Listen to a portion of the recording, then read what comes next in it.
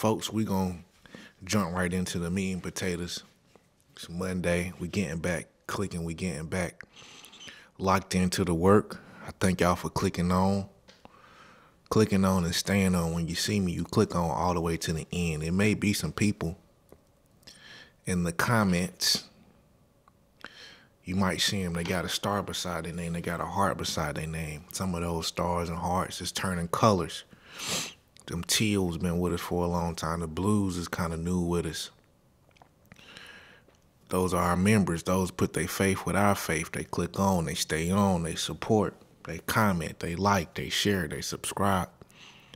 Thank you for liking, sharing, and subscribing. This is a place for the victorious. This is a place for the victorious. So if you feel like crying and curling up in a ball and not having the victory on today, this might not be the place. You might want to just go ahead and click off of me because I'm going to get on your nerves this season. Let me jump right into the meat and potatoes this morning. Um,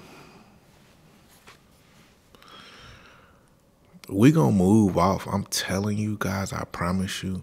But I, I can only do what I'm feel like I'm spiritually directed to do and make the the best guess in spirit of where we're leading. But we getting off of these people, man. I really do feel like the content up until this point has been drawing you guys to me also, the content that I've been producing up until this point has been helping to heal myself. But as I always say, I only know this place to be a rehabilitation facility for us all. We should graduate. We should get to a point where certain things we just don't want to hear anymore we should get to a point that when you clicking on, you clicking on, not so that you can get pumped up, but you clicking on so you can get pumped up and get direction and directive on what you should be doing in this season. This ain't no gossip page. This ain't no gossip channel. This ain't gossip girls. So if you want to hear some gossip about your enemies, this ain't the place. We're just illuminating. We're just illuminating to elevate. So you got to shine light on these things so that you can elevate and turn your back on them. I mean, I'm giving a crazy long intro, but this is Monday. Hopefully, you'll click on me and you'll put me in your earbuds or you'll put me in your speakerphone as you're doing your task because this is important. Today, this is very, very important. This is very important today. This is very important that we get this today.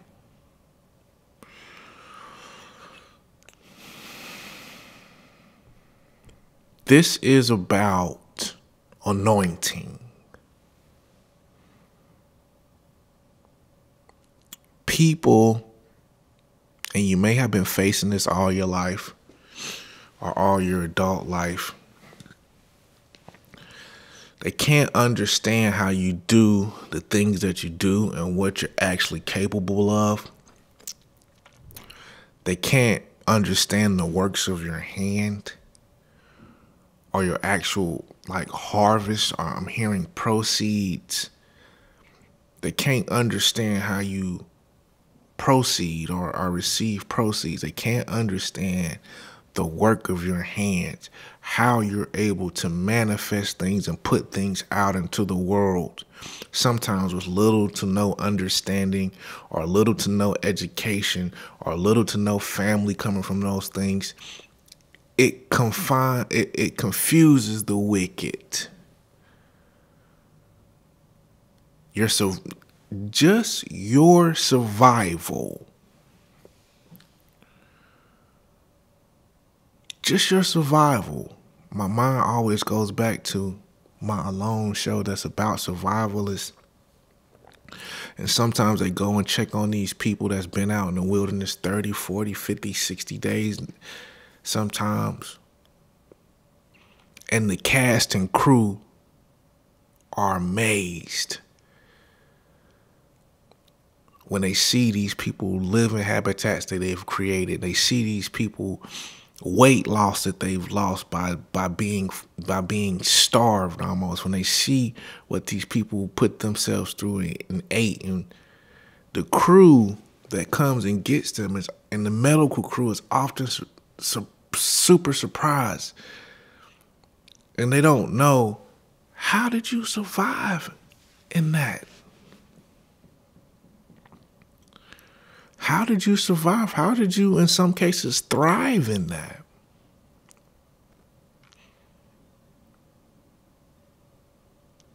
And that's how people are looking at you family, friends, strangers, haters, com competitors, uh, co workers. And it's isn't it simple? I was anointed to do this.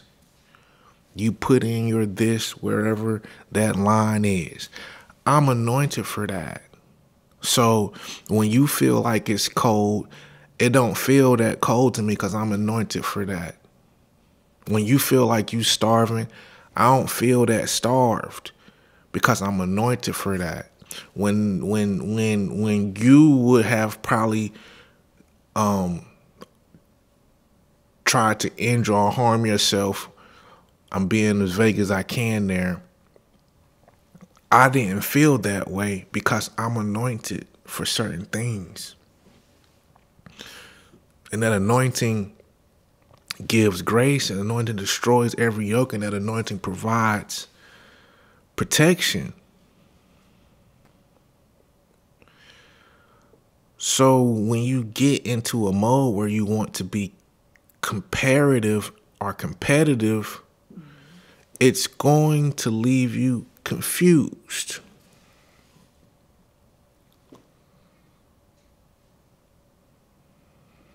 There's a way. Thank you for this, God. There's a way on, I saw just in passing, there's a way on Google on Google Maps where you can blurry your house. I just saw this just randomly popped up on Facebook as like an article where if you looking up somebody's house or somebody's particular residence, I didn't look at the steps. I just literally read the caption. You can make your house blurry. And that's what the anointing does to where when when people try to dig up and go through your past and look at your stuff and it'll make certain things very very clear and it'll make other things blurry where I can't quite even see what what's going on. And that's the anointing. And that word um, in the Greek, I believe it means to smear or to cover. But what I what I loved about it so much is that at a time there was a time where shepherd had sheep and what they would do in certain seasons is they would rub oil all over the sheep.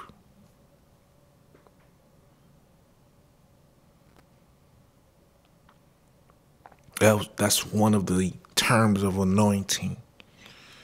It would smear oil all over the sheep.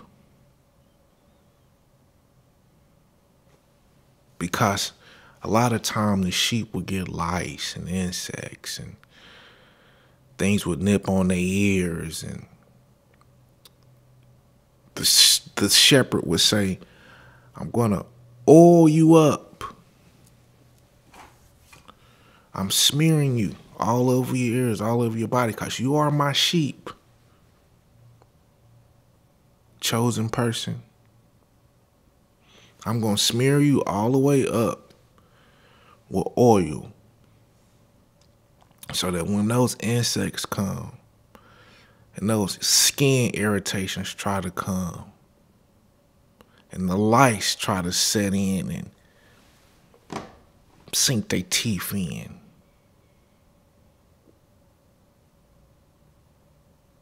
They'll slip right off.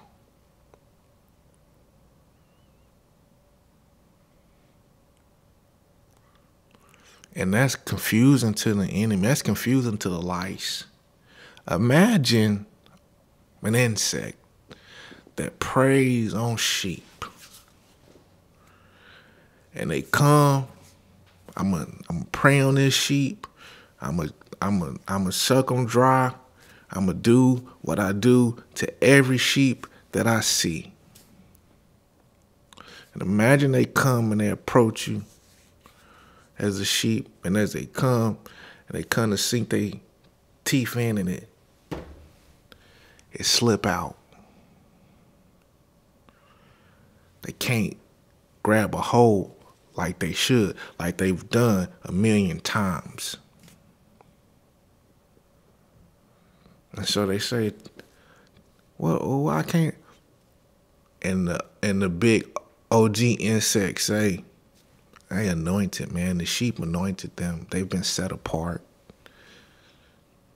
You ain't gonna be able to sink your teeth in right there. Cause they've been covered in that oil. Mm-mm-mm. You was covered in that oil. And even if you felt a sting or irritation, that was nothing compared to the intention of what the insects wanted to do.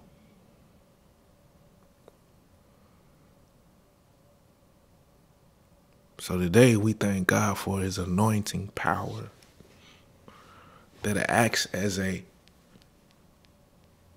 the shield of protection, a hedge, a fence. It distorts the vision of the adversary.